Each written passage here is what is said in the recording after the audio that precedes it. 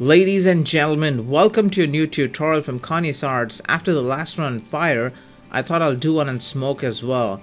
But to be precise, smoke wisps. You might have heard the saying, there's no smoke without fire, right? Well, not in this case.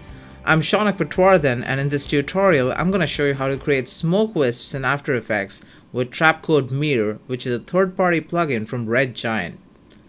Let's start.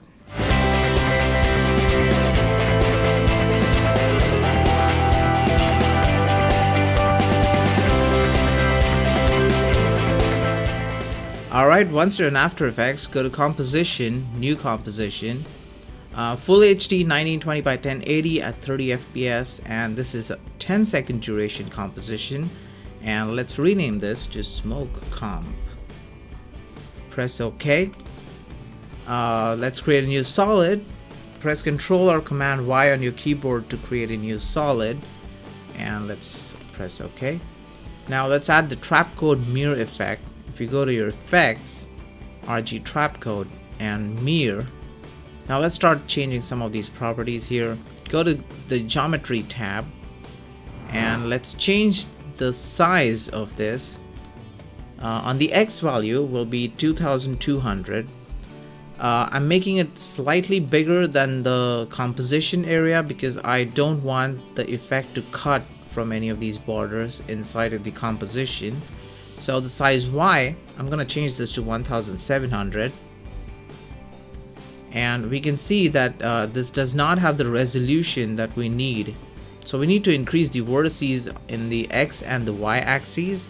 For the X axis I'm gonna change this to 500 and for the Y axis I'm gonna change this to 720 you can go for a higher number here, but it won't make much of a difference. And of course, your render time will be affected a little bit if you go for a higher number of the vertices.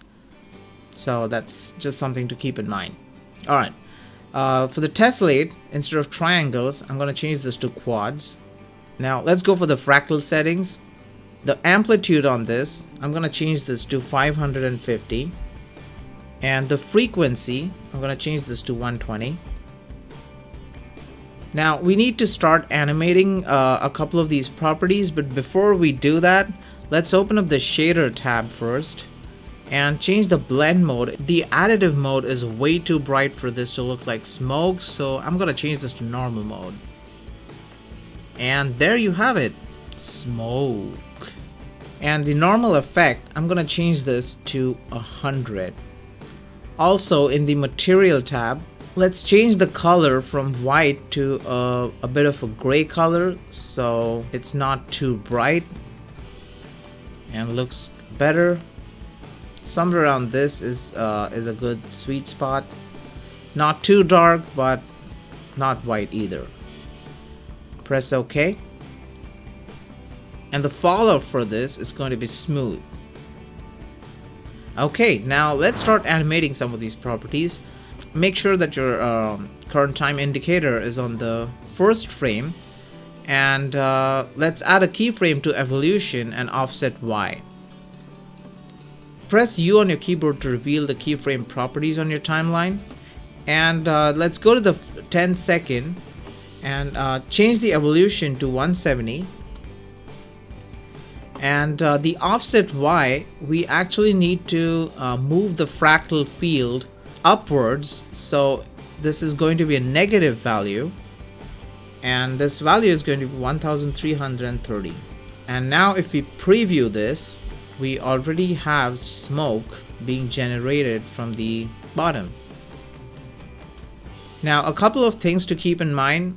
First of all uh, this is not a loop right now uh, for this to be a loop, the first and the last frame of this need to be the same, which is not the case right now. So if you go into the fractal settings, you'll see the seamless loop option here.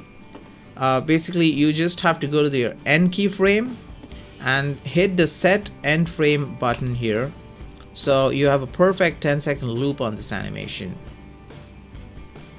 Also, one more thing, if you don't want the smoke to be uh, to occupy the entire area of the frame you can just uh, change the size X to maybe reduce it to a certain area so that it doesn't uh, really occupy the entire frame. And uh, so you now you have a, have the smoke in a smaller area.